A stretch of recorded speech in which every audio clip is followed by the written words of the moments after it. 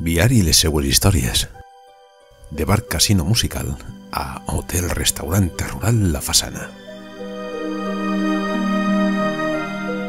El que fue bar casino musical se habilitó en la década de 1940 en el edificio del siglo XVIII de estilo moderno, sito en la entonces Plaza del Caudillo, anteriormente y hoy de la Constitución, número 3, anexionado al también edificio noble de la calle Mayor número 1, mansión burguesa del siglo XIX, de estilo neoclásico, que fue propiedad de doña María Vaya Candela, hoy Museo Etnográfico Municipal.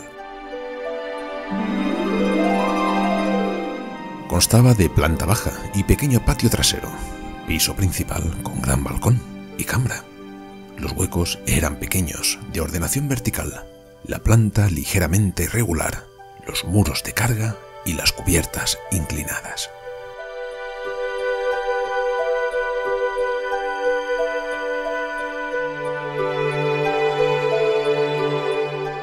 Elemento singular es el enorme balcón que se apoya sobre columnas de fundición muy finas que se prolongan por encima del mismo y aparecen también en el interior de la edificación y que sirve como terraza mirador hacia la Plaza de la Constitución, centro de la vida social y festiva de la villa.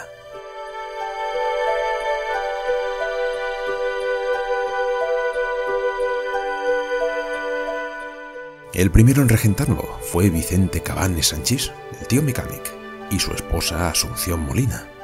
Vicente fue un virtuoso de la música y lo bautizó como Bar Casino el Musical.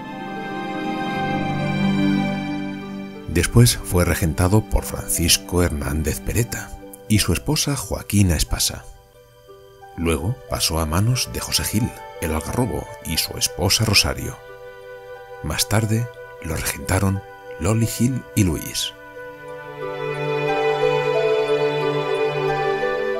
Finalmente, allá por el año 2000, fue adquirido por los hermanos Antonio y Sergio Valls Moyá, los cuales, y con las necesarias licencias, lo rehabilitaron totalmente, respetando íntegramente su fachada, balcón y columnas de fundición, para transformarlo en el actual y espectacular bar, cafetería, hotel, restaurante rural La Fasana.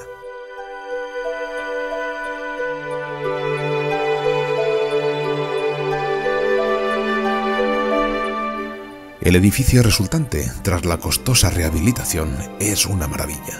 Sus cimientos se hunden entre la peña que baja del Cerro del Castillo y la calle que se llamó Nueva, hoy Don Juan García, por su parte norte.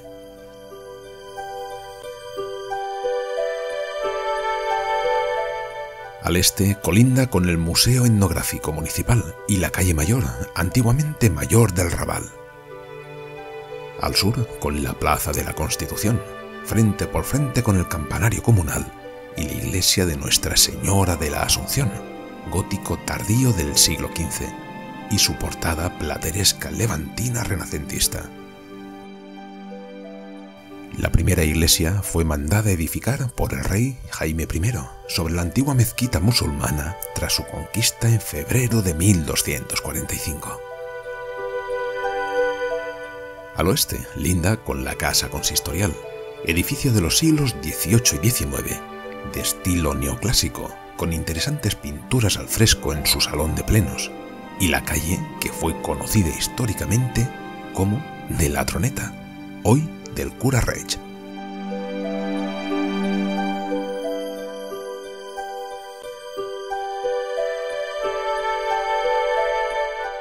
En el centro de la Plaza de la Constitución, fuente pública de estilo moderno, con pila de piedra labrada de planta cuadrada, con remates curvos y ornamentales.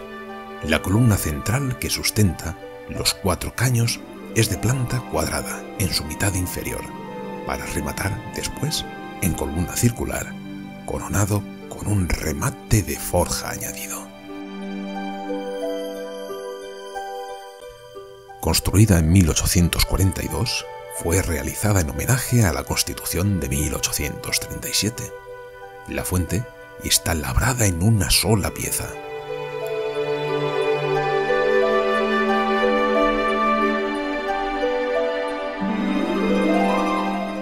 El entorno, la plaza pública de la Constitución, donde se sitúan los edificios de carácter más representativos de la población y en torno a la cual gira la vida social y festiva de la misma civil y religiosa, festes de match, Semana Santa, San Antonio Abad, el Rey Pácharo y tantas otras.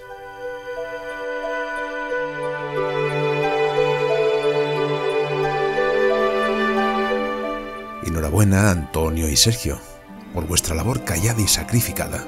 Habéis recogido los frutos de vuestro esfuerzo e ilusión y daros las gracias por habernos obsequiado con ese regalo que hace aún más rico el patrimonio histórico, cultural y social y de servicios de nuestro querido Viar.